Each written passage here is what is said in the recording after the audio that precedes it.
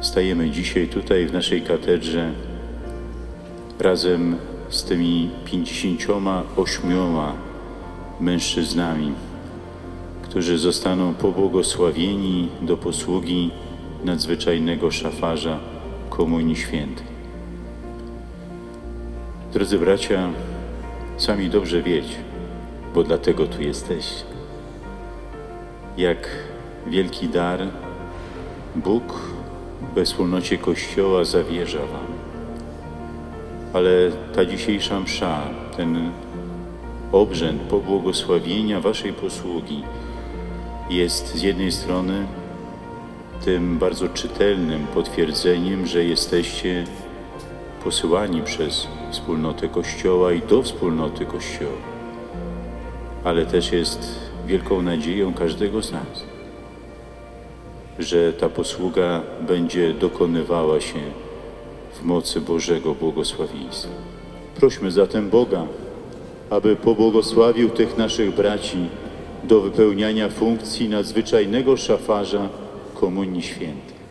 Wszechmogący wieczny Boże, Ty wspomagasz swój lud na drodze do wieczności, posilając go najświętszym ciałem i krwią Chrystusa. Pobłogosław tych naszych braci, aby rozdzielając chleb życia, z wiarą świadczyli o przynależności do Ciebie przez Chrystusa, Pana naszego.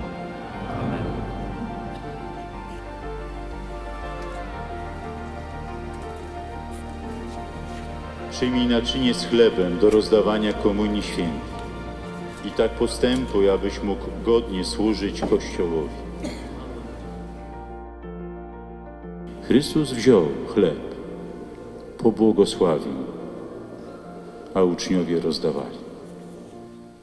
Nigdy tego nie zapomnijcie, że to Chrystus błogosławi i wam daje.